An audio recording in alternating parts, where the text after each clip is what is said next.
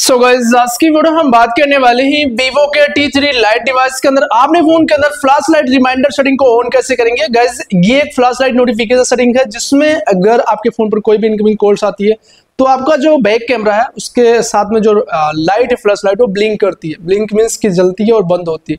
इससे आप आइडेंटिफाई कर सकते हो कि आपके फ़ोन पे कोई कॉल आया है मैसेज आया क्योंकि मैसेज पे ये काम करता है और कॉल पे भी काम करता है। एक छोटा सा डेमो करते हैं। और आपको दिखाते हैं इस सेटिंग को एनेबल एंड यूज़ कैसे करते हैं। पहले गाइस फ़ोन के अंदर फ्लैश लाइट रिमाइंडर सेटिंग्स को एनेबल करने के लिए सबसे पहले आप सेटिंग्स को ओपन करिए, जो हमने ऑलरेडी ओपन करा है। स्क्रॉल करके नीचे आना है।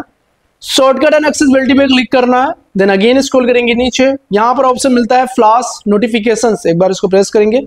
एंड इनकमिंग कॉल से जो ऑलरेडी हमारे फ़ोन के अंदर इनेबल है, मैंने इनेबल करा है। बट अगर आप नीचे देखेंगे मेंशन में मिल जाएगा। When the screen is turn off the rear camera flash will be blink तो ये जो आपको बता रहा है, जो रियर कैमरे की जो फ्लैश लाइट है, वो ब्लिंक करती है कॉल वगैरह आने पे। बट ये काम कैसे करता है, इसको बता दे अभी करंट टाइम पे हमारी स्क्रीन ऑन है, अब यहाँ पर कोई कॉल आती है तो ये लाइट नहीं ब्लिंक करेगी। ध्यान रखना तो जब हमारे फ़ोन की स्क्रीन की लाइट ऑफ़ होगी दैट मीन्स बंद होगी तो ऐसे केस में कोई कॉल करता है, कोई एसएमएस वगैरह आता है तो ये जो फ्लैश लाइट बैक कैमरे में मिलती है, वो ब्लिंक करती है मीन्स की बंद होती है, जलती है।